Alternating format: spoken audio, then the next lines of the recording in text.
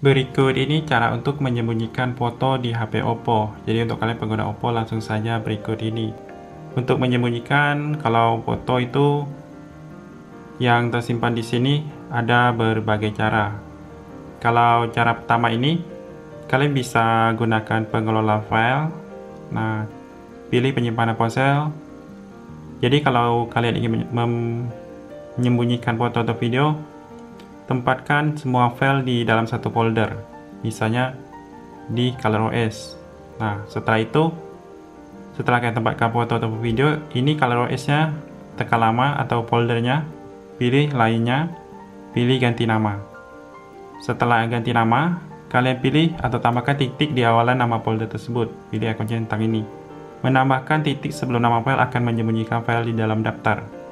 Nah, seperti itu. Folder dan filenya ikut tersembunyi jadi foto video juga bisa kalian masukkan file lainnya, file rahasia dan lain.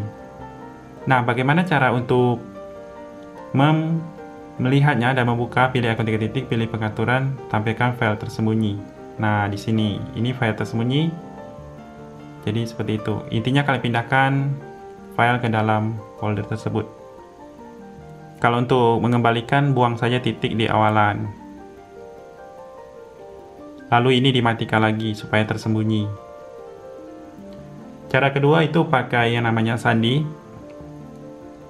Kalian bisa buka yang namanya pengaturan. Nah, dari pengaturan ini, pilih yang namanya kata sandi dan biometrik. Kemudian ini kata sandi privasi dibikin dulu. Ikuti petunjuk yang ada. Saya pakai pin, ada juga pakai pola, silakan atur sendiri.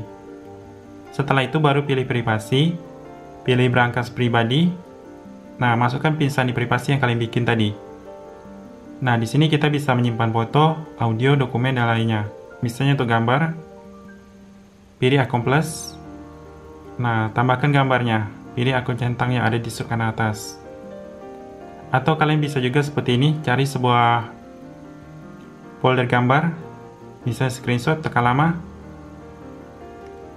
tekan lama, beberapa foto.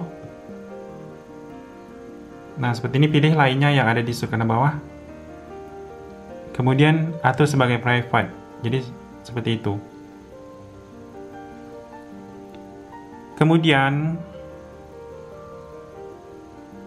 kalau untuk cara membukanya itu kalian bisa masuk ke sini membuka dengan cepat. Ini pengelola file tekan lama di antara terbaru dan kategori di tengahnya. Nah, masukkan sandi privasinya. Jadi seperti itu. Dari foto ini juga bisa tekan di bar atas. Nah, seperti itu. Juga bisa dibuka. Itu saja, silakan dicoba. Semoga bermanfaat.